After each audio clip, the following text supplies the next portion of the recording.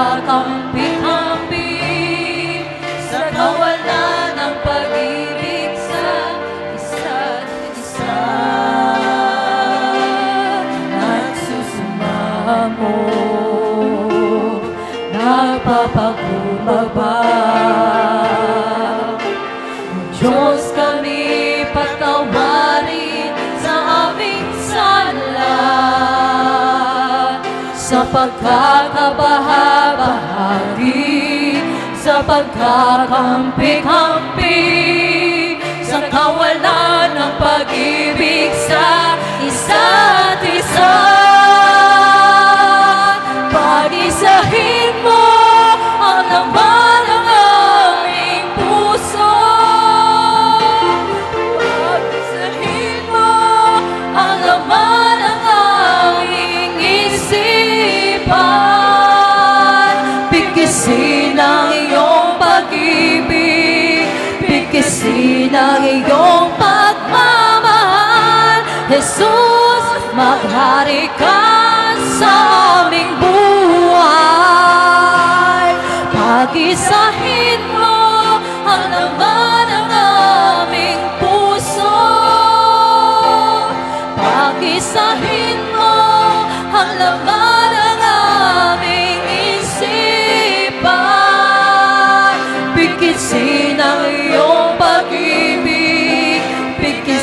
Mabuti ng iyong pagmamahal.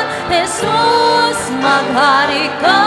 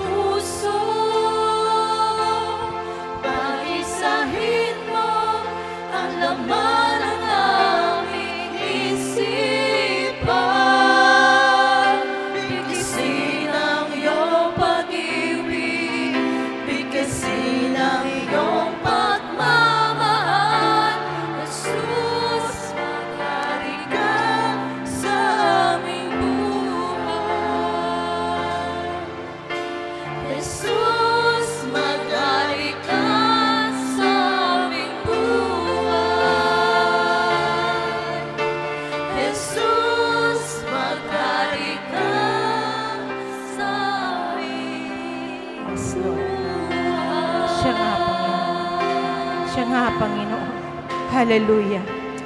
Oh, hallelujah, hallelujah, hallelujah, Lord God. Tunay nga, Panginoon. Napakabuti mo sa amin. O dakilang Diyos na makapangyarihan sa lahat. Patuloy po kami na lumalapit sa iyong kabanal-banalang trono, Ama. Lord, pinupuri ka namin, pinasasalamatan ka po namin, sinasamba ka po namin sa Espiritu at katotohanan. Lord, Father God, right now, Panginoon, tinataas ko sa iyo ang bansang Pilipinas, Panginoon. Gaya ng awit, Panginoon. God, I declare unity, Panginoon, sa bansang ito. Hallelujah. Pag-isahin mo ang puso ng iyong mga anak, Panginoon. Ang bawat Pilipino, Panginoon, magkaisa upang umunlad ang bayang ito, Panginoon. God, tanggalin niyo po ang lahat ng uri ng kasamaan, Panginoon. At patawarin niyo po, Father God, ang bansang ito, Panginoon, sa lahat ng kasalanan, Panginoon, lalo tigit sa lahat, Panginoon, sa corruption, Father God, sa pagsamba sa Diyos-Diyosan, Panginoon. Lord, patawarin niyo po ito, Father God. Lord, naniniwala kami at nanampalataya sa iyong lubos, Panginoon, na ang bansang Pilipinas ay pinagpala mo ng lubos, Ama, in Jesus' name. At right now, Lord God, tinataas din po namin sa iyo ang body of Christ, lahat ng churches, Panginoon. Father God, kayong patuloy, Panginoon, ang maghari nito, Lord God. At we declare unity, love, and compassion, Panginoon, sa bawat churches, Panginoon. At higit sa lahat sa body of Christ, Panginoon. Maalala ng lahat ng tao na we belong in one kingdom only, Lord God. At walang ibang, walang iba, Panginoon, kung hindi sa kingdom mo, Panginoong Jesus. Kaya, Lord, salamat po ng marami. Right now, Lord God, inaalala din po namin, Father God, ang Reverend of God Main Church, Panginoon. Higit sa lahat, Father God, ang lahat ng mga pastors, ang aming bishop, Panginoon, patuloy niyo pong pagpalain ang kanilang buhay, Panginoon, in Jesus' name. At Lord, Father God, buong puso namin pinapasalamatan ang Reverend of God Revival Church, Panginoon. Lord, salamat po sa maraming kaluluwang na revive na, Panginoon. Ang dalangin po namin, Ama, na patuloy po, patuloy na patuloy po, Panginoon, na marami pang kaluluwa na ma-revive sa pamamagitan ng church na ito, Panginoon. At ganun din po sa ibang churches, Father God. Kaya Lord, patuloy niyo pong pagpalain higit sa lahat, ang lahat po ng mga pinili mong ah, pastors, Panginoon. Especially Pastor LV, Father God, na pinili mong head pastor namin, Lord God. Salamat sa kanyang buhay, Ama. Patuloy niyo po siyang pagpalain mula physically, emotionally, spiritually, and financially, Lord God, in Jesus' name. Right now, Lord, tinataas ko rin po sa iyo, Panginoon, ang music ministry sa limang church, Father God. Father God, patuloy niyo pong babaan ang double portion of anointing, Panginoon. Lord, patuloy pong maranasan ng buong congregation ang presensya mo, Father God. In Jesus' name, hallelujah, hallelujah. At kiniklaim na po namin, Ama, ang katagumpayan sa gawain sa limang church, Panginoon, ng River of God Revival Church, Father God. Salamat po ng marami, Ama, sa iyo pong lahat ng papuri, pasasalamat. In Jesus' name we pray. Amen and amen. Hallelujah, hallelujah. Hallelujah, hallelujah. Mapagpalang umaga po sa ating lahat. Pwede po ba na tayo umikot? Batiin po natin ang ating mga kasama dito, ang mga ating kapamilya po dito. Amen!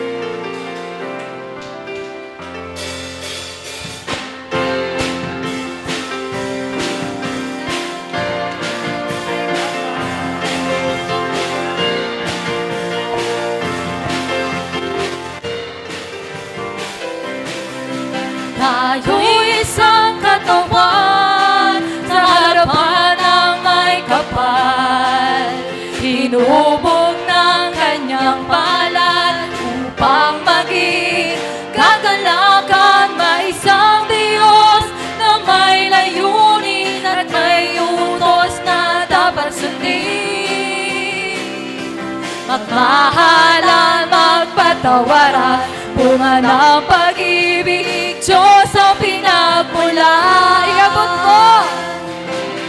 Iabot mo ang iyong kamay, kapipinsik sa pagkaisa.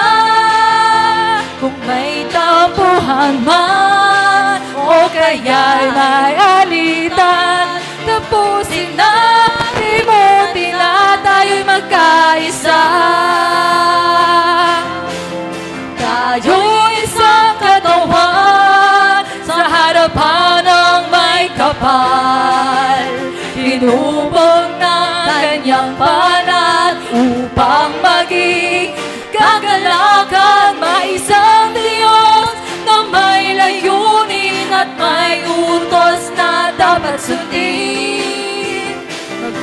Magmahalan kapatawaran Bunga ng pag-ibig, Diyos ang pinagmulan Iabot mo ang iyong kamay Kapit bisig sa pagkakaisa. Kung may tampuhan man O kaya'y may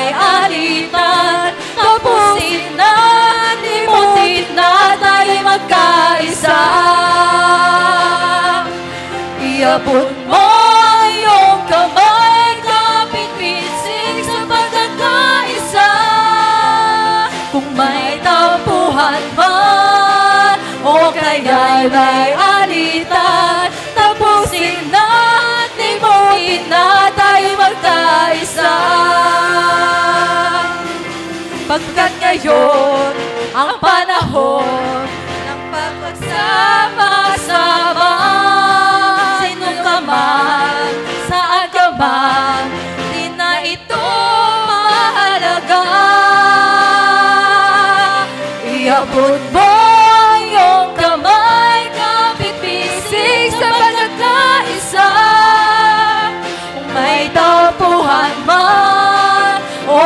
o kaya'y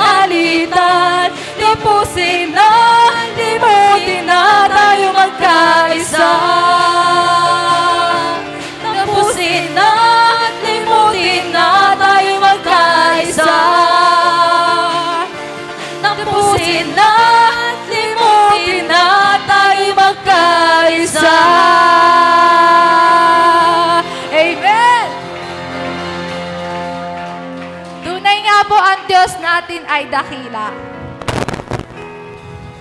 Sabi po sa awit ah, 145 verse 3 to 9, Dakila kay Yahweh at karapat dapat na ikay purihin. Kadakilaan mo'y tunay na mahirap naming unawain. Sa, ali, ah, sa alimang lahi sa iyong ginagawa ay papupurihan. Ihahayag nila ang mga gawa mong makapangyarihan, ang karangalan mo at pagkadakilan mo ipapamalita. Isasaysay ko ang magawa mo na kahanga-hanga, ang mga gawa mong makapangyarihan, ipinamamalita. Sa lahat ng tao ay aking isasabing, ikaw ay dakila. Ihahayag nila ang lahat ng iyong mga kabutihan, aawitin nila mga may kagalakan ng iyong katuwiran. Si Yahweh mapagmahal at puno ng habag. Hindi madaling magalit, ang pag-ibig ay wagas. Siya ay mabuti at kahit kanino hindi nagtatangi. Sa kanyang nilikha, naka, naka, pagkalingan niya ay pagmamahal. Amen! Kaya tayo handa na po ba tayo magpuri, sumayaw sa ating Diyos na buhay kasi siya ay tunay na dakila. Amen! Amen!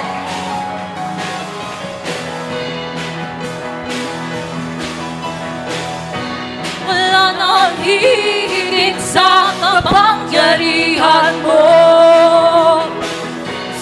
Sino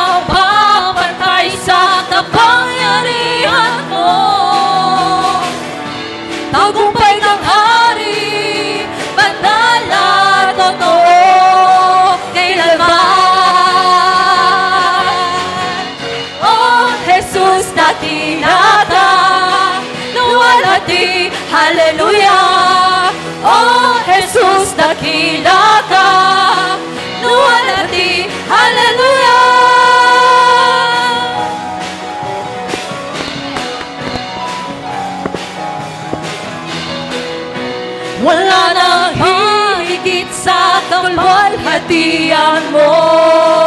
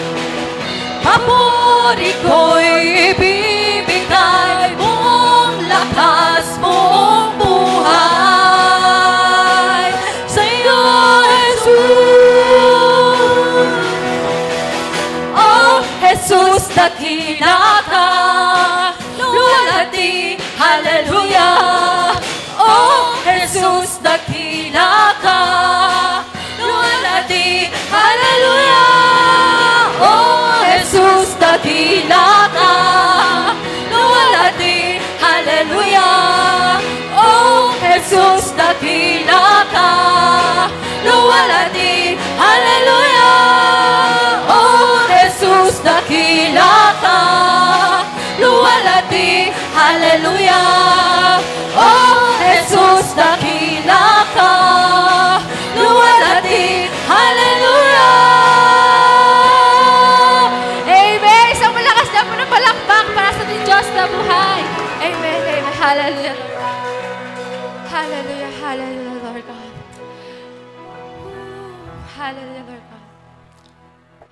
ating damhin ang presensya ng ating Diyos ngayon.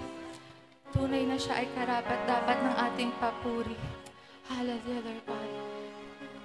Pareho.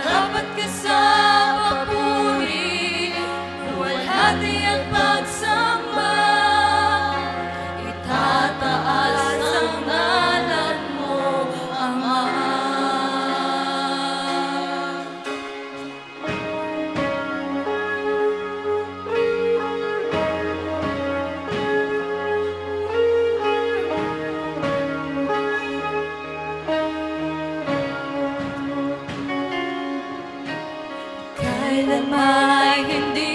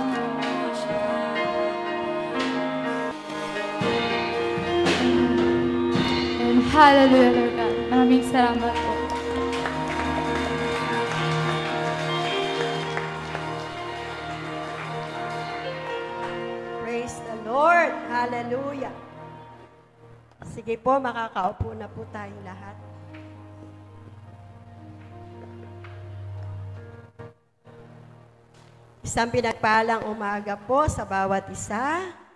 Sa mga nasa online, a blessed Sunday, everyone. Ah, purihin po ang Diyos sa umagang ito dahil napakaganda po ng kanyang binabang mensahe na naniniwala po ako na lahat po tayo ay lalakas ngayong umaga. Sabihin mo po sa katabi mo, mag-expect ka. Paglabas mo mamaya, mighty warrior ka na ni Lord. Amen? Gusto niyo po ba yon? Maging mighty warrior tayo ni Lord? Ibig sabihin, nandun ang lakas, kapangyarihan ng Diyos sa ating lahat. Amen po? Sige po, tayo pong lahat ay tumayo. Ang ating pong tema ngayong umaga, pinamagatan pong God's Guidance in Gideon's Life. Ang verse po nasa aklat ng Judges, chapter 6, verse 14 to 16 ng New International Version. Ah, Sige po, sabay-sabay po tayo magbasa.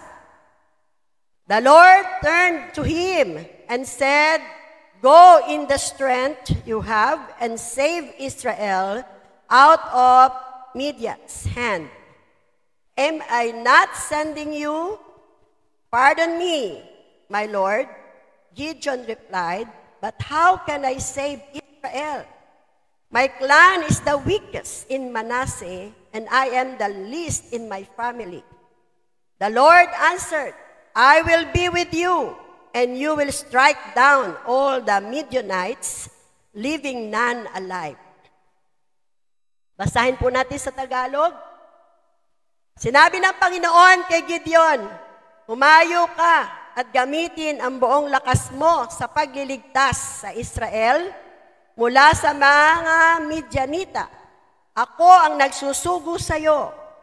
Sumagot si Gideon, pero paano ko maililigtas ang Israel?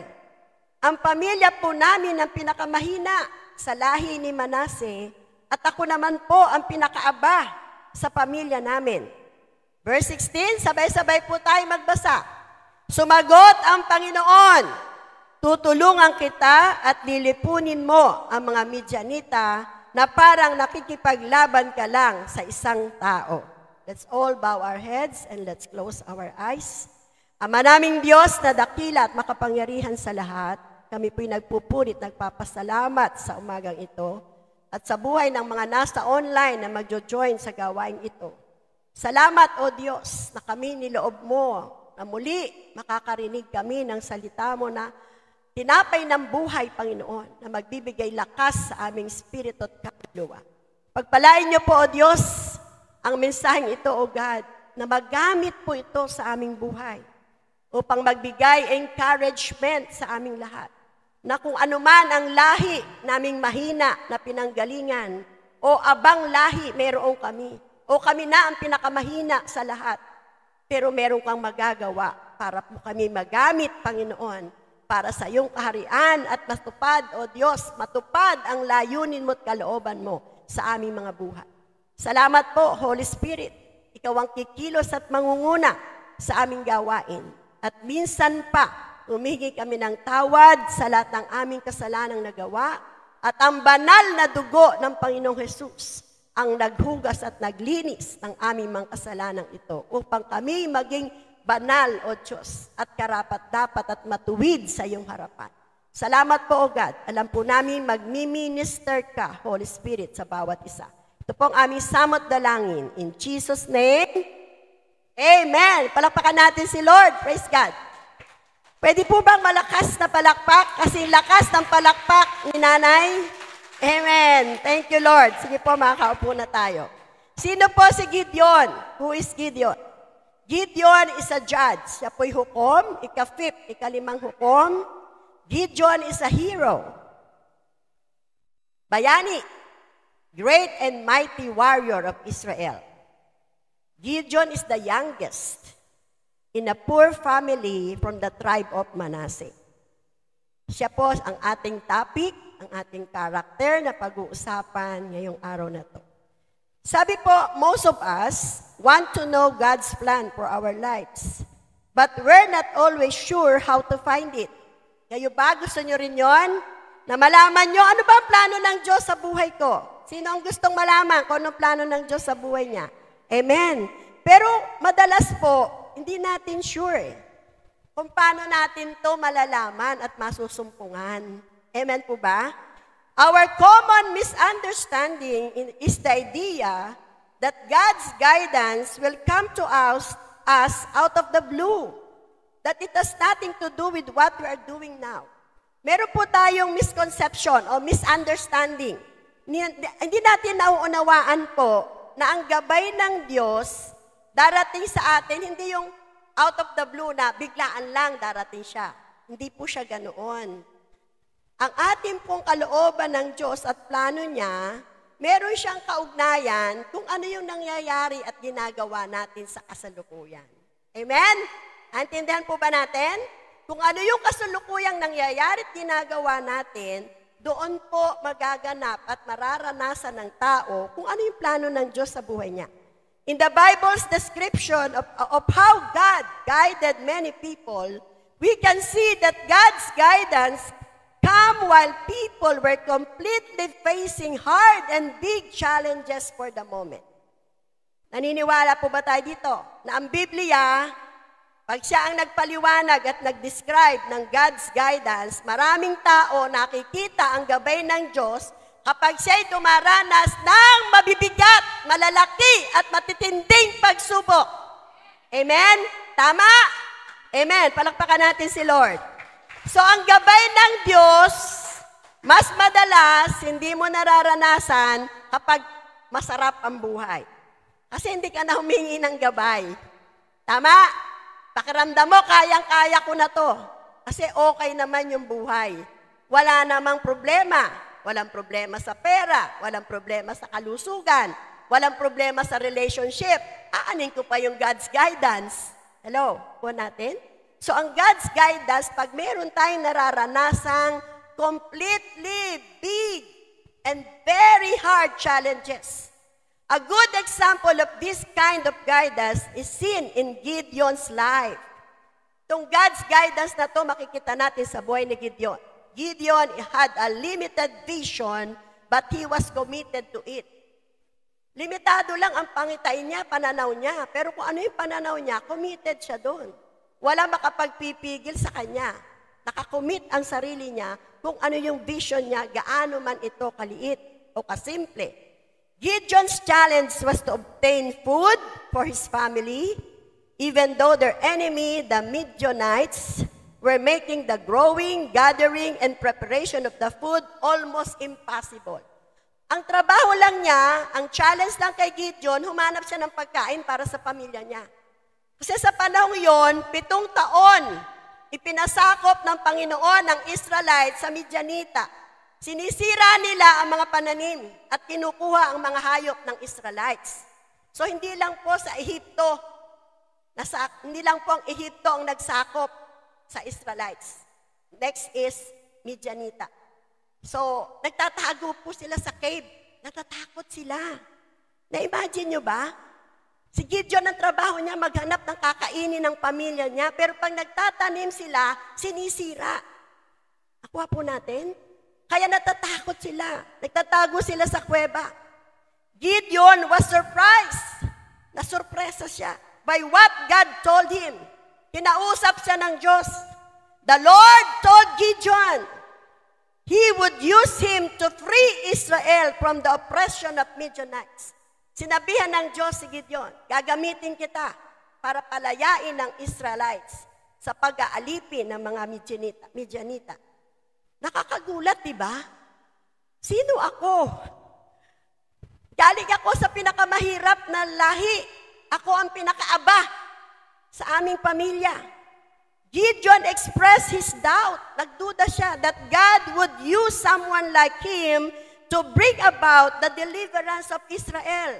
Nakakasunod po ba tayo? Kahit ikaw o ako, Pinakaaba ka galing sa abang pamilya, pinakamahirap kang lahi, tapos sasabihin ng Diyos, gagamitin kita para palayain ng Israelites. Hello? Maganda yung storya, di ba? Nakaka-excite. How Gideon experienced God's guidance. Papaanong naranasan ni Gideon ang guidance ng Diyos? Kasi kung hindi siya gagabayan ng Diyos, sa kanya palang kalagayan, hindi na siya makaka, magiging hero. Hindi siya magiging mighty warrior. Sino dito yung gusto na sa panahon ngayon na walang-wala na nga? Mahinang mahina na nga. Ikakausapin pa ng Diyos na gagamitin kita. Gusto nyo ba yon? Gustong gusto ko yon. Wala bang malakas na amen? Mag-amen kayo, sabi ng mga nanonood sa online. Wala po bang tao sa church? Bakit po? Wala po kaming naririnig pag kami nagwa-watch. Because nandun po sila, mahina lang. Kaya pag gusto nyo mag-amen, amen is a prayer of agreement to God. Amen? Amen. Palakpakan natin ng Diyos. Number one, anong ginawa ng Diyos na guidance sa Kanya? God does not look on the quantity, but on the quality. Ginide siya ng Diyos para ipakita sa Kanya, huwag kang tumingin sa dami. Amen? Tumingin ka sa kalidad. Di ba? Quantity, kalidad. Di po ba? Hindi quality. Minsan, gusto mo marami. Eh, labanan to. Yung palang marami, aatras. Hello? Nandiyan po ba kayo? So, na, ginide siya ng Lord para sabihin, huwag kang titingin sa marami. Ang tindan mo, quality. Andyan ba tayo? So sabi sa Judges o Hukom, chapter 7, verse 2 to 3. Sinabi ni Yahweh kay Gideon, napakarami ng kasama mo. Baka akalain nilang nalupig nila ang mga Midianita dahil sa sarili nilang kakayahan at hindi dahil sa akin. Sabi sa verse 3, kaya sabihan mo sa kanila na kung sino man ang natatakot ay maari nang umuwi. Nang sabihin ito ni Gideon, umingi, umuwi ang 22,000. Ang natira ay 10,000 na lang. 32,000 sila. Nung tinanong, sino ba dyan ang matapang? Sino ba dyan ang nakandang makipaglaban? Nung marinig na ang labanan, nung marinig nang may lilinisin, nung marinig ng maraming gagawin, umatras ang 22. Ilan ang natira? 10,000 na lang. O di ba maliwanag? Ang dami-daming. Ang sarasaya, saya-saya, ang dami-dami. Nung labanan na, nung labanan na, naubos. Eh, alam ng Diyos ang mangyayari. Kaya sinabi niya, ngayon pa lang. Kasi hindi, ma, hindi nila mararamdaman na ako ang nagpanalo o tumulong pag marami kayo. Amen po ba? Ano ba yung quality? A quality Christian is pure, dalisay ang puso, dalisay ang isip. Sige nga, isearch natin ang heart natin. Natatawa na kayo, no? Quality ba ako, Lord? Quality Christian ba ako? Pure ba ang puso ko't isip ngayon? Malinis ba? Holy ba ako? Holy means obeying God's will. Sumusunod ba ako sa iyo? Matapat ba ako? Amen po ba? Amen? Ikaw ba ang mahal ko higit kanino man? Kasi sabi, tumitingin ang Diyos hindi sa dami. Kaya tama si Bishop eh.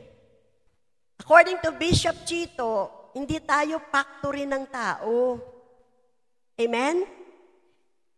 Ang dami-dami nga, wala namang kalidad. Walang tapang sa paghahayag ng salita ng Diyos. Walang sipag sa gawain ng Panginoon. Nandyan lang pamparami. Hello? Hello? Napakasarap pong madinig. na ang hinahanap pala ng Diyos ay yung quality Christian. Kasi pagbabalik ng Panginoong Jesus, yung sinasabing rapture ng church, talagang quality Christian ang mararapture. Amen po ba? Na hindi tayo umaatras. Sinabi lang ni Gideon, o sabi kung sino daw yung natatakot, pwede nang umuwi. Ilan ang umuwi? 22. Mas marami yung umuwi, 22,000. 10,000 na lamang po ang natira. Last night, ang word na narinig ko po sa Holy Spirit is cleansing. Ano po ang ibig sabihin ng cleansing? Paglilinis. Darating po talaga ang time, pagpalapit na palapit na ang pagbabalik ng Panginoong Yesus. Matinding paglilinis po ang magaganap. Kaya ngayon pa lamang, isa pamuhay na natin, sanayin na natin to live in purity, holiness, blameless, na kung nagkakasala tayo, lumapit agad tayo sa Diyos. Humingi agad tayo ng tawad sa Kanya para ma-restore agad ang ating relationship sa Kanya. Amen po? Naintindihan po ba natin? Number two, oh, Second Timothy muna po tayo. Basahin natin ang ikalawang Timoteo, chapter 1, verse 7. Sapagkat hindi espiritu ng kaduwagan ang binigay sa atin ng Diyos, kundi espiritu ng kapangyarihan, pag-ibig, pagpipigil sa sarili. O dapat walang duwag dito. Kasi ang espiritu ng kaduwagan hindi galing sa Diyos. Amen? Anong galing sa Diyos? Kapangyarihan, pag-ibig, pagpipigil sa sarili. Dapat yan ang meron tayo. Hindi espiritu ng kaduwagan. Amen po. Praise the Lord. Number two, God does not call the qualified. He qualifies the called. Ano po bang ibig sabihin nito, mga kapatid? Ang Diyos ay hindi tumatawag ng may kakayanan, kundi binibigyan niya ng kakayanan ang kanyang mga tinatawag. Hello, maliwanag po ba yon? Ang Diyos hindi tumatawag ng may kakayanan. Kaya nga ang 12 disciples niya, mga mangingisda, di po ba? Si Luke lang ang doktor. So ang tinawag niya si Gideon, pinakaaba. Galing sa abang pamilya, pinakaaba pa sa magkakapatid sa lahi nila. Andyan po ba tayo? So hindi po tumatawag ang Diyos na magagaling. Kundi tumatawag ang Diyos na siya ang magpapagaling at magpapahusay. Amen po ba? Amen? Palakpakan po natin ang Panginoon. God does not call the qualified. He qualifies the called. Kaya ang daming magagaling. Bakit hindi ako tinatawag ng Diyos? Ang Diyos po ang nakakaalam kung bakit magagaling sila at di sila tinatawag. Maaring nakikita ng Diyos na walang kababaang loob, di po ba? Na nagagalingan sa sarili, pwede hindi maiangat ang Diyos. Tama po ba? Di po ba pag galing na galing ka sa sarili mo, ina-acknowledge mo palagi, ikaw to, ako yan, ako yan. Di po ba? Pero pag hindi ka nagagalingan sa sarili mo, ang sasabihin mo agad, glory to God. Hindi po ako yun. Ang Diyos po yun. Amen po? O, palakpakan po natin ang Panginoon. Ang sabi po sa hukom o Judges 7, 4 to 7. Basahin po natin para malaman natin yung nangyari kay Gideon. Sinabi uli ni Yahweh kay Gideon, marami pang natira. Sampun libo na nga lang, marami pa raw natira. Isama mo sila sa tabi ng batis. Doon ko sasabihin kung sino isasama mo at kung sino ang hindi. Naku, parang elimination na to ah. Di po ba? Mai-eliminate na. Ano sa TV yung may ganon? Big Brother ba yon Yung bahay ni Kuya? Di po ba? May ganon palabas eh. Tama po ba si Pastora? Talagang may nai-eliminate. Di po ba? Verse 5, sabi, ganon nga ang ginawa ni Gideon. Pagdating nila sa bati, sinabi ni Yahweh, ibukod mo ang lahat ng sasalok sa tubig sa pamagitan ng kanilang palad at iinom na parang aso. Gayon din, gayon din ang mga luluhod sa pag-inom. Verse 6, ang sumalok ng tubig upang uminom ay tatlong lamang. At yung iba'y lumuhod upang uminom. Verse 7, sinabi ni Yahweh kay Gideon, ang tatlong daang sumalok sa pag-inom ang isasama mo sa paglaban sa mga Midianita, pauwiin mo na yung iba.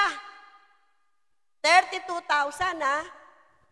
Yung naduduwag at natatakot, umuwi, 22. 10 na lang natira, 10,000. Ngayon, namili uli ang Diyos. Tatlong daan na lang ang natira. Amen po? Dahil nakita ng Diyos na yung mga tinawag niyang yung tatlong daan, siya ang gagawa ng paraan para maging mabuting tagapaglaban yun. Pakikibaka itong haharapin eh. Amen po ba? Sabihin mo sa sarili mo, o sa katabi mo, kalabitin mo, sis. Ang Diyos pala ang magbibigay ng kakayanan sa atin. Amen? Hindi pala dapat tayo ang maging matalino at maging magaling. Amen? Ayaw ng Diyos ng napakatalino. Dahil pag sobrang talino mo, ikaw na ang pupuri sa sarili mo. Amen? Amen po ba? Kaya ang Diyos po ang namili. O ilan na lang po natira? 300 na lang. Nakakalungkot, no? Sana kasama pa tayo dun sa 300. Amen po ba? Amen. Amen po. Palakpakan po natin ang Diyos. Praise the Lord. Sabi sa unang Korinto, chapter 2, verse 4 to 5. At nang mangaral ako sa inyo, sabi to ni Pablo, kapon po may nanay na nangaral dito eh. First time na nangaral yung nanay na yon, di po ba? Tama po ba? Nag-women's fellowship kami. Ang speaker namin kahapon, first time. Talagang pagtayo niya, tinatapik-tapik niya yung dibdib niya. O, di ba? Buti, hindi inatake sa puso, ano? Uma, ganun, ganun. First time nangaral ang nanay na yon. So, ang sabi ni Pablo, at nang mangaral ako sa inyo, hindi ako gumamit ng matatamis na pananalita batay sa karunungan ng tao upang kumbinsihin kayo. Ewan ko kung nangungumbisin ba tayo? Gumagamit tayo ng matatamis na salita. Marami pong preacher na ganyan. Amen? Talaga para makonvince ang tao, matatamis na salita. Nilalagyan ng asukal. Nilalagyan ng pangiliti para masiyahan ang nakikinig. Amen? Ewan ko si sister kahapon, meron ba kayong narinig na matamis na salita? Nakumbinsi ba kayo? Sabi po dito, sa halip, pinatunayan ng banal na espiritu ang aking pangangaral sa pamamagitan ng kanyang kapangyarihan. Hindi kailangan na yung karunungan ng tao at yung di lang matatamis ang gamitin natin, kundi ang kapangyarihan ng banal na espiritu ang magpapatunay na siya'y makapangyarihan na kaya ng salita ng Diyos na magbago ng buhay ng tao. Amen po? Kaya ang Diyos ang tumatawag at siya ang nagkukwalify. Amen po? Hindi siya tumatawag na magagaling. Alabitin mo ulit katabi mo, baka nalulungkot yan, hindi siya magaling. Huwag ka nang malungkot. Hindi pala tumatawag ng magaling. Amen po? Kahit hindi tayo magaling, pagagalingin, pahuhusayin tayo ng Diyos. Dahil sa kapangyarihan ng banal na Espiritu. Amen po? Sabi sa verse 5, nang sa ganoon, hindi makasalalay sa karunungan ng tao ang inyong pananampalataya, kundi sa kapangyarihan ng Diyos. Amen? Napakahirap maging kristyano na nakasalalay sa tao ang iyong pananampalataya. Amen po? Kaya po kailangan pag tayo ay nasa gawain ng Panginoon, yung kapangyarihan ng banal na Espiritu ang hahangarin natin. Hindi yung talino at galing na nagsasalita. Gusto ko siya kasi nakikiliti ako, saya-saya ko pag siya ang preacher eh. Hello? Nagkakaroon na po ba ng kaliwanagan? Holy Spirit. Holy Spirit, yung kanyang kapangyarihan ang kailangan magpatatag sa pananampalataya nating lahat. Kaya ang titingnan at aabangan natin, yung galaw ng banal na espiritu sa buhay nating lahat. Amen po ba? The word itself, basta salita ng Diyos ang binababa, may kapangyarihan yan. Amen? Yung tao, walang kapangyarihan. Pero yung word of God ay salita ng Diyos, ay Diyos mismo, may kapangyarihan yan para tayong lahat ay baguhin, palakasin, tanggalin tayo sa pagkakaalipin ng kahirapan, karamdaman. Amen po ba? Lahat ng problema ng buhay. Amen. Number three na po tayo. God used dreams and visions to reveal His will. Yan po ang pag-guide ng Diyos kay Gideon. Gumagamit ang Diyos ng panaginip. Sino nananaginip dito? Ano panaginip nyo? Si Kathleen Bernardo, tsaka si Daniel. Yung ba? Ano panaginip natin? Vision, nakakakita ng pangitain kapag nananalangin. Nagagamit yan ng Diyos para i-reveal ang kalooban ng Diyos. Sige, tingnan natin kung paano nagamit kay Gideon. Magbasa po tayo kasi istorya to, hindi tayo makakasunod. Baka mamaya para kayo nakasakay sa jeep, nakabiyahe na kami, naiwan pa kayo. Sabay tayo sa kwento. Hukom, Judges 7:13 to 15. Nang malapit na sila Gideon, may narinig silang nag-uusap. Ang sabi ng isa, napanaginipan ko. May isang tinapay na si Badang gumulong sa ating kampo. Nagulungan daw ang tolda at ito'y bumagsak. Sabi nung Medyanita, nag-uusap yung dalawa na naginip ako. Merong si Badang ng, tinap, ng tinapay na si Badang gumulong sa ating tolda at bumagsak daw. Verse 14, sagot nung isa, yon, ang, yon ay walang iba, kundi ang tabak ng Israelitang si Gideon, na anak ni Joas, tayo ay, tayo at ang Medyanita ay ipapalupig sa kanya ng Diyos. O di ba nagkukwentuhan pa lang? Naipaliwanag na agad yung panaginip. Verse 15, Nang marinig ito ni Gideon, lumuhod siya at nagpuri sa Diyos. Pagkatapos sila ni Pura ay nagbalik sa kampo at sinabi sa kanyang mga kasamaan, Humanda kayo at ipapalupig na sa atin ni Yahweh ang mga Midianita. Ano ibig sabihin ng kwentong ito? Si Gideon kasi, hindi pa rin makapaniwala na talagang gagamitin siya ng Diyos. Kaya ang sabi ng Diyos sa kanya, inutusan kita. Inutusan niya si Gideon. Sige, kung nag-aalinlangan ka pa rin sa akin, sabi ng Diyos. Puntahan mo yung nag-uusap doon na dalawa. Pakinggan mo ang mga pinag-uusapan nila. So nung marinig ni Gideon na yung panaginip ay patungkol sa kanya, na siya talaga ang gagamitin ng Diyos para ipabagsak ang mga Midianites, Midianites, naniwala na siya. Amen po. Naniniwala po ba tayo dito? Nasa ngayon talagang ang mga panaginip, meron po mga kahulugan para sa magaganap sa ngayon at sa hinaharap. Amen po ba? Pero pag ang napapanaginipan nyo, tinatakot kayo, demonyo, hindi yung galing sa Diyos. Amen po? Maaring natulog kayo, galit na galit kayo, kaya pati si Satanas napangginipan nyo sa pagtulog. Kasi minsan ganun nangyayari. Kung ano yung naiisip mo, damdamin mo, galit na galit ka, pagtulog mo, daladala mo yon.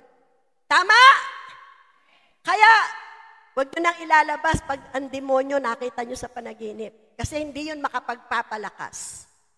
Makapagbibigay takot pa yun. Amen po? So naniwala po si Gideon nung marinig niya yung nag-uusap. Sabi po sa aklat ng Joel, chapter 2, verses 28 to 29, At pagkatapos, ibibigay ko ang aking espiritu sa lahat ng tao. Kanino daw ibibigay ang espiritu ng Diyos? Sa lahat ng tao. May tao ba dito? ibibigay ng Diyos ang espiritu sa lahat ng tao. Ba't parang di tayo masaya? Amen! Espiritu ng Diyos ibibigay sa ating lahat. Ang inyong mga anak na lalaki at babae ay magpapahayag ng aking mga salita. Nasa ng mga anak ditong babae at lalaki? Taas ang kamay. Are you ready to share the revelation ng Holy Spirit sa inyo? Amen. Ang inyong matatandang lalaki ay mananaginip at ang inyong mga binata ay makakakita ng mga pangitain. Sa mga araw na yon, ibibigay ko rin ang aking espiritu sa mga utusang lalaki at babae. Ito po ay magaganap sa last days, last of the last days. Lahat tayo, lahat ng tao, bababaan ng espiritu ng Diyos. Yan po ang magaganap. Kaya sa panahon pa lang ngayon, pag hindi ka pa rin nakakarinig ng boses ng Diyos, manalangin ka ng todo-todo. Kasi hindi tayo makakalaban sa spiritual battle kapag hindi natin naririnig ang tinig ng Diyos. Seryoso ba kayo? Seryoso po ang mensahe ng Diyos. Hangarin natin, Lord, Father God, in the name of Jesus and by the power of the Holy Spirit, gusto ko pong madinig ang tinig nyo. Ngayon pa lang, iparinig nyo na ang tinig nyo sa akin. Kasi kahit anong guidance ang gawin ng Diyos sa atin, kung tayo'y bingi, ang spiritual nating tenga, bingi, walang naririnig, wala tayong guidance na maririnig sa Diyos.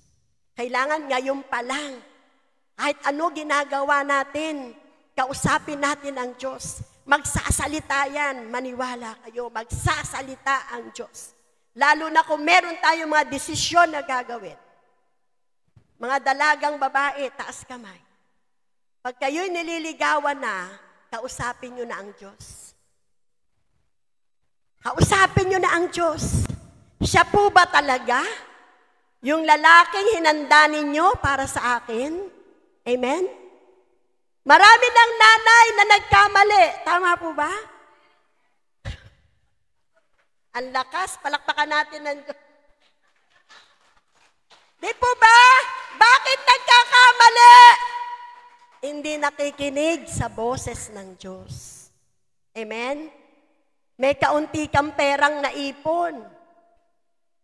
May gusto kang bilhin. Hindi ka nanalangin. Hindi mo hinintay ang go signal ng Diyos. Yung kaunti mong naipon, ninegosyo mo man yan o binili mo man yan ng isang bagay na hindi nag-agree ang Diyos, pahihirapan ka niyan sa darating na araw. Sino po nag-agree? Amen. Totoo po yan. Any decision na pinili natin without the approval of God, may consequence tayong pagdadaanan na mabibigatan po tayo. Kaya mahal tayo ng Diyos.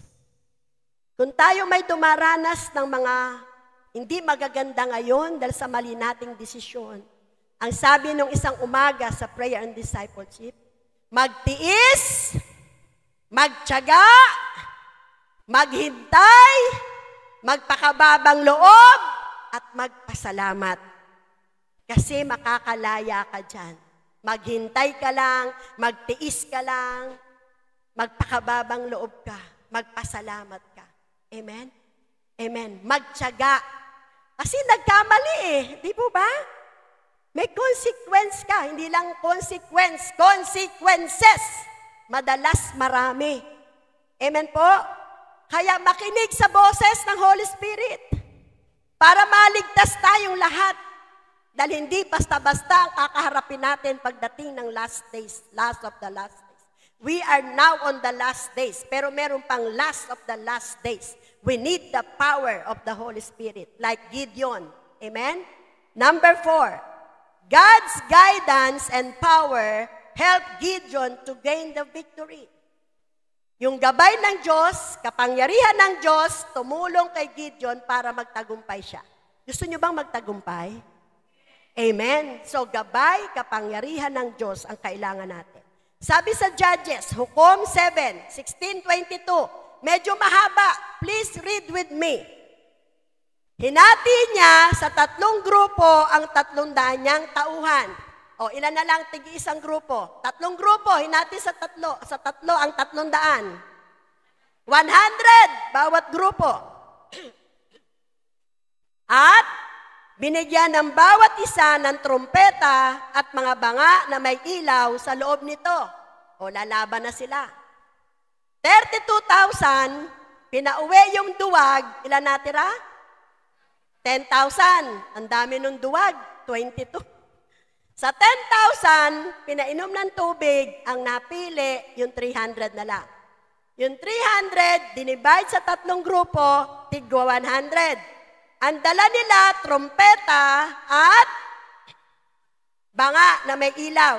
May dala bang espada? May dala bang armalite? May dala bang barel? Wala. Sabi, sundan nyo ko ng tingin. Sabi ginigit yun. Nakikinig ba tayo? Sundan nyo ko ng tingin. Kapag naroon na kami sa dulo ng kampo ng kalaban, gawin nyo kung ano ang gagawin ko. Amen. Sundan daw natin ng tingin, sabi ni Kunwari, kasama, kasama tayo ni Gideon.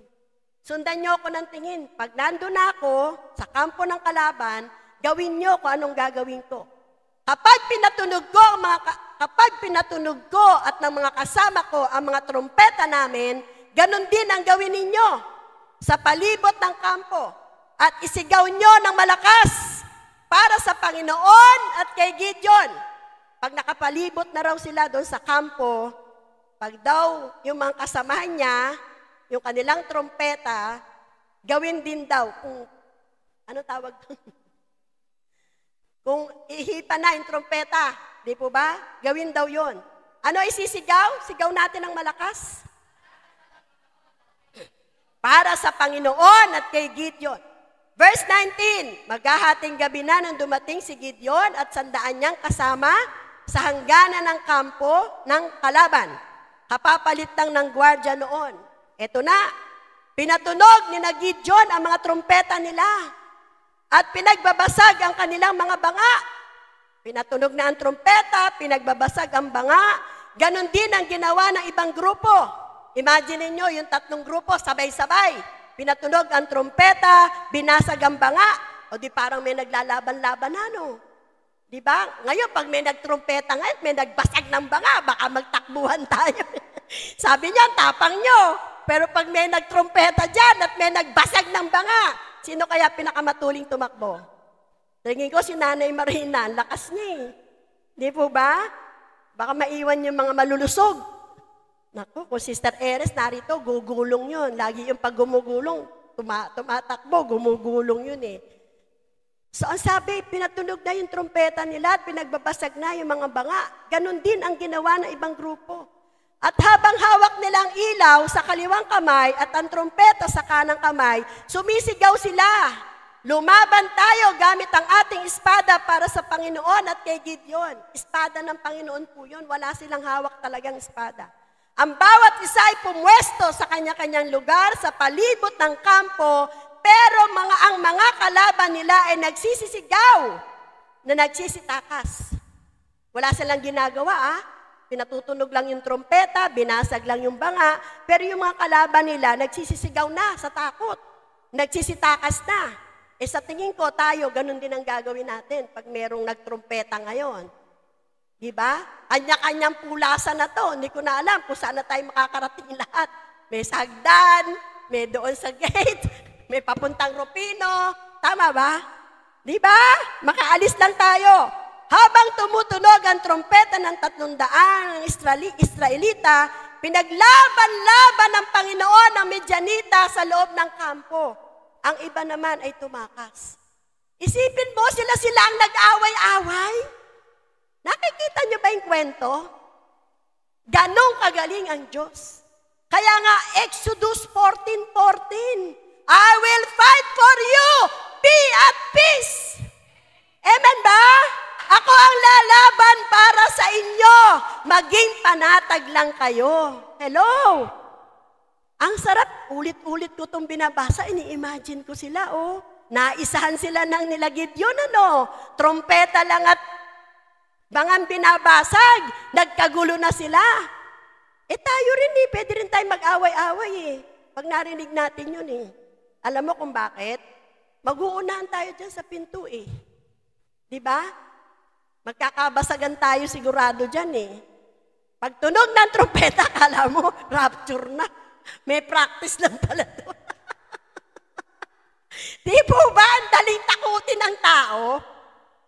Ang taong kumakalaban sa Diyos, madaling takutin.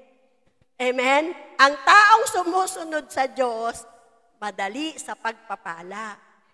Walang kapagod-pagod. Hindi pala talaga kailangan yung 32,000 eh, no? Amen po?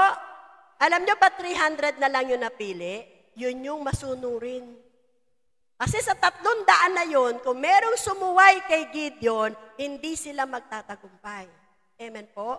Kaya God does not look on the quantity, God looks on the quality. Amen.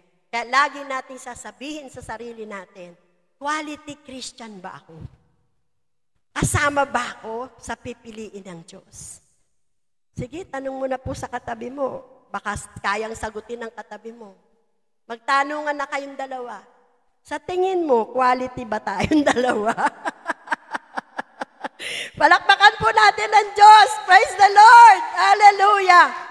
Pag naramdaman mo sa ngayon, medyo may kulang pa, marami pa pong panahon, may pag-asa pa tayo, maging katulad ni Gideon. Amen po? What can you learn about the life of Gideon? Ano natutunan natin? Marami, di po ba? Gideon was just like all of us. Si Gideon parang tayo lang. Amen? Tayo lang siya. And we can see the gentleness of our Father through His dealings with Gideon. Yung kaamuan ng ating Diyos Ama, nakita natin sa pakikisama niya, pakikipag-ugnayan ng ating Ama sa langit kay Gideon. Over and over again, Gideon tests God's patience, even though he received clear instructions from God. Bakit po nasabi to? Alam niyo po ba si Gideon bago sumunod? Sabi pa niya sa Diyos, hihingi muna po ako ng sign. Binigyan ng sign, di pa nasiyahan. Pwede pa ho bang isang sign pa uli? O di ba? Eh kung ang Diyos hindi gentle, sabihin ng Diyos kung tayo lang yun ano, yung mga maini, yung mga ano dito, walang tiyaga. Eh kung ayaw mo nga magpagamit, di wag na, pipili na lang ako ng iba. Hindi ganun ang Diyos eh. Tayong lahat na naririto, kaya tayong pagtyagaan ng Diyos. Palakpakan po natin ang Diyos. Sabi po dito, in His kindness, God hangs with Gideon through his fear and still use him greatly. Nanatili ang Diyos kay Gideon na kinukumbisi siya, anak gagamitin kita. Nagsasalita ang Holy Spirit ngayon, pakinggan natin, anak gagamitin kita. Wala pa ring amen. Tatanungin na naman ako, wala po bang tao sa church? Anak, gagamitin kita! Amen! Palakpakan natin ang Diyos. Gideon reminds us we are capable. Ni-remind tayo ng Diyos. Capable tayo. Kaya natin. Kasi dalawa pa kamay natin, dalawa pa paa natin eh. Amen po ba? Hindi tayo bulag. Parehong may paningin ang ating dalawang mata. Hindi putol ang ating mga kamay. Amen po. At higit sa lahat, may dila, may labi. Tayong pwedeng gamitin. Kahit namamaga na kasisipra yan, gagamitin pa rin ng Diyos yan. Kahit namamanit na katitipa yan, gagamitin pa rin ng Diyos yan. Amen po. Amen. Hindi tayo kapapaguran ng Diyos kung paano pinagtsagaan niya si Gideon, ang Diyos pinagtsatsagaan tayo para magamit po tayo sa kanyang karya. God reminds us we are capable. Kung nagdududa ka pa sa pagkakatawag sa inang Diyos, huwag ka nang magduda. Kasi hanggat di ka sumusunod sa Diyos, baka maging Jonah ka lang. Hello? Hanggat di tayo sumusunod sa Diyos, baka kainin tayo ng malaking isda at magstay pa tayo sa loob ng tiyan ng isda. Amen po ba? His life stands to show us that God sees the best in us when we don't. Ang Diyos nakikita niya kung ano yung best sa atin eh. Pero tayo hindi natin nakikita eh. Tama po ba? Kasi nilalagay ni Satanas sa isip natin, mga kasinungalingan, hindi mo kaya yan, walang maniniwala sa'yo, huwag ka magpagamit. Di ba? Hindi mo kaya yan. Hindi ka pwede dyan sa gawaing spiritual, hindi ka pwede dyan. Tagalaba ka lang, tagaluto ka lang, tagaalaga ka lang ng anak, manahimik ka sa bahay. Yun ang sasabihin sa'yo ni Satanas. Tama po ba? Pero ang Diyos may nakita sa iyo. May nakikita sa iyo. May nakikita sa ating lahat. Katulad ng nakita niya kay Gideon, natakot din si Gideon. Takot galing sa abang pamilya, walang kakayanan. Gideon was successful in his goal because he allowed God to use him. We can do the same. Naging matagumpay siya sa pagkakatawag niya kasi pinayagan niya ang Diyos gamitin siya. Ikaw, papayag ka ba gamitin ka ng Diyos? Palakpakan naman natin ang Diyos. Lumakas din. Amen? Pwede tayo maging katulad ni Gideon. Magpagamit tayo. Learn this from Gideon. Ito raw ang dapat nating matutunan. Every experience in life is a test. Lahat ng nangyayari sa buhay natin, test, pagsubok. Amen? Hindi lang estudyante ang sinusubok. Amen po ba? And every trial in the lives of God's people is designed to draw us closer to God. Lahat ng trial na meron tayo, dinidisenyo yan para mapalapit tayo sa Diyos. So when tough times comes, pag dumating yung mga matitindi, sabi mo sa katabi mo, may pinagdadaanan ka bang matindi ngayon? Hello? May pinagdadaanan ka bang matindi ngayon? Marami daw. May pinagdadaanan ka bang matindi at mahirap ngayon?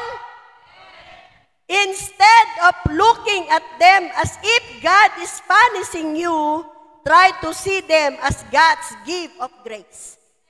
Instead na makita mong, naku, pinaparusahan ako ng Diyos. Sabihin mo sa sarili mo, regalo to ng Diyos sa akin. Biyaya ito ng Diyos sa akin. Amen! Amen! Palakpakan po natin ang Panginoon. Yan ang dapat matutunan natin kay Gideon. Itong mga pagsubok na to, hindi to parusa. Testing ito, pero biyaya ito at grasya ng Diyos para ako maging mas malapit sa Diyos. Remember this, we don't grow in our comfort zone. Sino dito ang nakaranas ng comfort zone? Tutulog, kakain, magmomol, magsha-shopping, ano pa? Comfort zone. Di ba lahat tayo naranasan natin yon? Sabi dito, we don't grow in our comfort zone. Meron bang lumago sa comfort zone? Meron tumaba. Tumaba. Kain ng kain, tulog ng tulog. Amen po? Walang nag-grow spiritually. Nag-grow healthy. Lusog dahil tulog ng tulog, kain ng kain. Amen po? Lusog, busog. Amen po? Madalas, ang paglago sa pananampalataya ay makukuha kapag humakbang ka sa mga bagay na hindi ka sanay, hindi mo kaya at takot ka. Pero, pinapagawa ng Diyos sa'yo. Tama? Ulitin natin. Madalas, makinig kayo mga kabataan, hello, lend me your ear. Pera muna ng tenga nyo, ang kabataan. Madalas, ang paglago sa pananampalataya ay makukuha kapag humakbang ka sa mga bagay na hindi ka sanay. Hindi mo sanay gawin. Hindi ka sanay, hindi, ka, hindi mo kaya, at natatakot ka na gawin. Pero, pinapagawa sa iyo ng Diyos. Doon tayo lalago. Pag hinakbang mo yung paamong gawin, yung bagay hindi mo kaya at natatakot ka, pero pinagagawa ng Diyos sa iyo, sumunod ka. Amen? Dahil ang sabi sa Luke 137, laksan nyo, Luke 137, For nothing is impossible with God. Amen? Posible ba sa Diyos ba, si Gideon tinawag na great warrior. Bakit? Ang nadefeat nila, 135,000 na kalaban. Imagine. 135 yung Midianites na, naka- na napatumba nila. Ang pangako ng Diyos sa kanya, mapagtatagumpayan mo yan ng parang isang tao lang ang kalaban mo. Amen? Kaya bang gawin ng Diyos sa atin yun? Amen. Ang gamit ni Gideon, tatlong daan lang na sundalo na manlalaban, mandirigma. Tatlong daang trompeta. Amen? At tatlong daang torches, yung ilaw. Amen? Ano nangyari? Hindi ba nakakatuwa? Ini-imagine ko yung magkakampi, naglaban-laban. Wala namang kumakalaban sa kanila, di ba? Yung ingay lang. Muli ulitin ko, ang favorite verse nating lahat, ano po yun? Exodus 14.14, I will fight for you, be at peace. Nadagdagan, Luke 1.37, Nothing is impossible with God. Tayo pong lahat ay tumayo. May natutunan po ba tayo? Hindi kailangan ang marami pala. Kailangan quality. Ulit, kalabitin ng katabi. Kailangan pala quality tayo. Amen? Amen. Sige po, awit po tayo sa Panginoon. Let's worship the Lord. Hallelujah. Sambahin po natin ang Diyos upang ibaba niya ang kanyang kapangyarihan sa ating kalagitnaan. We can be like Gideon. Si Gideon mahina. Si Gideon takot. Pero napili siya ng Diyos para gawin siyang great and mighty warrior of God. Marami po sa atin dito, may plano ang Diyos sa iyo. May plano ang Diyos sa ating lahat. Hindi magawa ng Diyos yung plano niya kasi takot tayo. Para tayo lumalim, lumago sa ating pananampalataya, umalis tayo sa ating comfort zone. Yung hindi natin kayang gawin, takot tayong gawin, hindi, tayo sanay gawin. Pag pinagagawa ng Diyos sa atin, gawin natin. Doon patutunayan ng Diyos, nothing is impossible with me. Nothing is impossible with God. Praise. Amen. Glory to God. Hallelujah. Sige po, darako na po tayo sa ating pagbibigay, sa ating tithes and offering. Amen.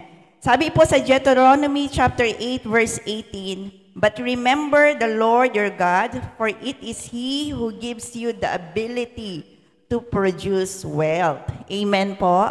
Ang ating pong Panginoon, ang siya pong nagbibigay ng lahat ng ating pangangailangan. Alam niyo po, lagi po nating i-desire no, yung bawat isa sa atin, yung maging channel of blessing. Amen po ba? Mas gusto po ba natin na tayo yung nagbibigay kaysa tayo yung binibigyan? Amen. Kasi Sister Jelly. Amen. Amen. Praise the Lord. Yan po yung maging ah, naisin ng bawat isa, no? Kasi po ang Panginoon, especially if we give do sa gawain po ng ating Panginoon, mas lalo po yung double blessing na ipagkakaloob sa atin ng ating Panginoon. Kasi po, when we give po sa, sa ministry ng ating Panginoon sa kanyang gawain, lalo na po yung, nakikita po kasi yung feeding, no? Kapag ah, nakikita ko maraming umaaten, maraming mga bata, alam niyo po yung sa simpleng lugaw na yon, no? Is, maaring isang buhay na pagbabago natin. Amen ba? Yung feeding po as another kind of ministry of evangelism. Yung inuhulog niyo po dyan, siguro 20 pesos, pero gagamitin yan para ma- ma- mapanahog, no? Mapambili ng sibuyas, ng bawang, tapos yung taong kakain nun, um, probably na nakakaramdam siya ng ah, depression, pero nung kumain siya ng lugaw, naalala niya, napakabuti ng ating Panginoon. Amen ba? Yung maliit na bagay na yon, maaring-maaring magamit ng Lord upang ang tao ay ah, tunay na tanggapin siya sa kanyang buhay. Kaya po, naisin po natin na laging ah, magbigay sa ministry ng ating Panginoon dahil lahat po ng ating pinagkakalob, hindi po yan mawawala ng kabuluhan. Amen. At maging ah, na- naisin po natin and let us always be desire na maging channel po tayo ng blessing ng ating Panginoon. At alam niyo po, lahat ng pinagkakaloob natin sa ating Panginoon, hindi po yan mawawala ng kabuluhan. Nakikita po ng Lord yung puso natin, yung desire natin, amen po ba, sa paghulog natin at pagtulong natin sa iglesia ng Panginoon. Ibabalik po yan ng Lord a hundredfolds. Amen. More than we ever desire. Amen po. Sige po, hawakan na po natin ating kaloob and let us pray. Hallelujah, Jesus, oh God. Hallelujah. Lord, salamat po, Panginoon, sa oras pong ito ng pagbibigay, oh God. Kung saan ang bawat isa ay magagamit mo, Panginoon.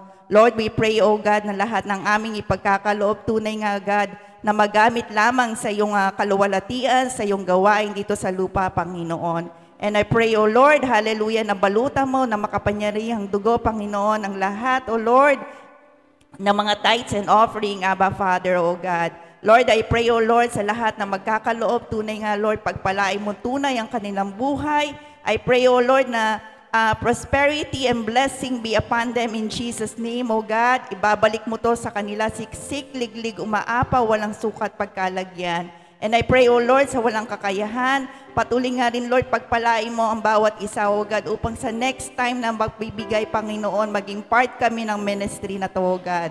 Lord, salamat po, Lord. Hallelujah, Jesus. Sa oras pong ito, maingat namin binabalik sa iyo ang pinakamataas na papuri sa pangalan ng iyong anak na si Jesus. This we pray. Amen and amen. Sige po, tayo po'y magkaloob na.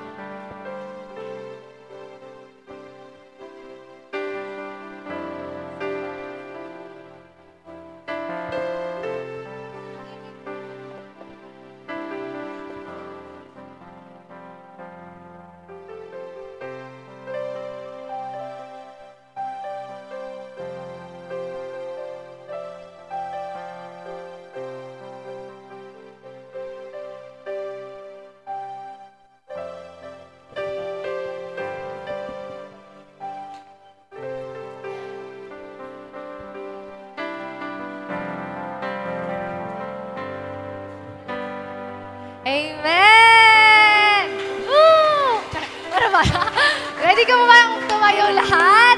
Natin na pong selyuhan ang ating gawain. Tunay nga po na walang imposible sa ating Diyos. Amen! Amen! Kaya tayo ba'y sumayaw? Pwede pong bumunta dito ibang yuto. Sayo kayo dito. Nothing is impossible. Dali!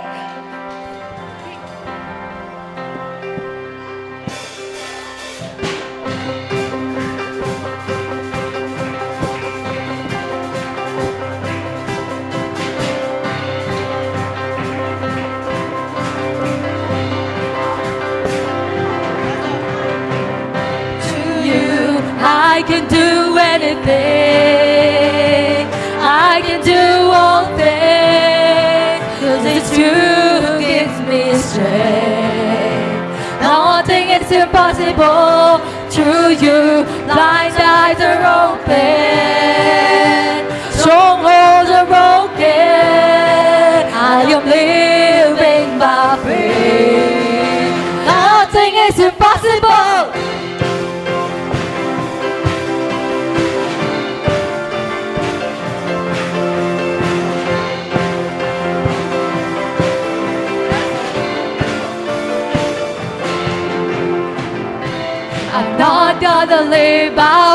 What I see.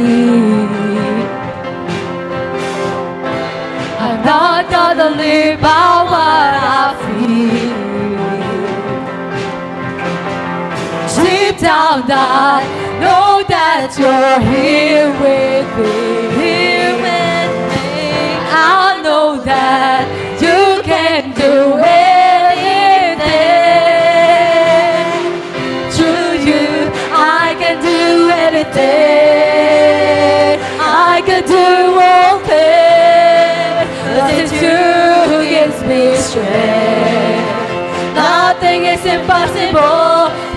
you, eyes are open. Strongholds are broken. I am living by. Nothing is impossible. I believe, I believe, I believe, I believe,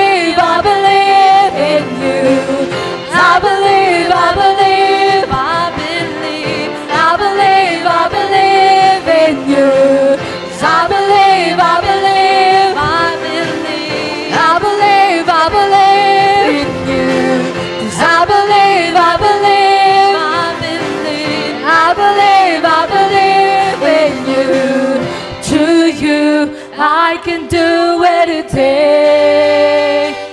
I can do all things. it's you who gives me strength. Nothing is impossible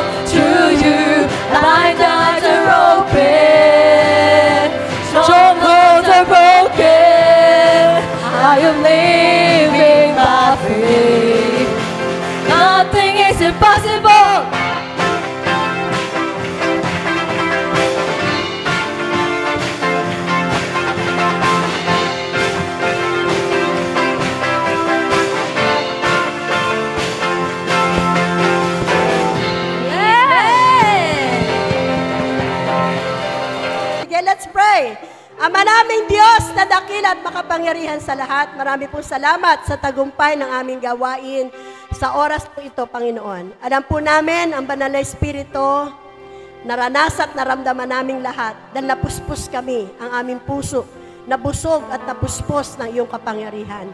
Ang buong isang linggo na aming kakaharapin, Father God, muli sa iyo namin pinagkakatiwala. Ikaw ang magpo-provide ng lahat-lahat ng aming pangailangan. Ikaw ang magbibigay sa amin ng divine protection, Father God. At ang lahat ng may sakit at karamdaman, Panginoon, bibigyan mo ng divine healing, O God. Divine intervention, blessing upon blessings, breakthrough upon breakthroughs ang mararanasan naming lahat. Itaas natin ang dalawang kamay natin sa Diyos. Tanggapin ang bawat isang pananampalatayang matatag at matibay mula sa ating Diyos ang masalangit na hindi kayang itumba ng kahit anong unos at bagyo ng buhay. Tanggapin ang bawat isang pag-ibig, kahabagan ng ating Panginoong Jesus. Tanggapin ang bawat isang pakikisa at kapayapaang nagmumula sa banal na Espiritu. The Lord bless you and keep you. The Lord make His face shine upon you and be gracious to you. The Lord turn His face towards you and give you peace. Humayo tayo mapayapa. Ipalaganap, ipalaganap natin ang pag-ibig na nagmumula sa ating Diyos Ama, Diyos Anak at Diyos Espiritu Santo. Maraming maraming pong salamat. This is our prayer in Jesus' mighty name. Everybody shout! Amen! Amen! Amen! God bless po.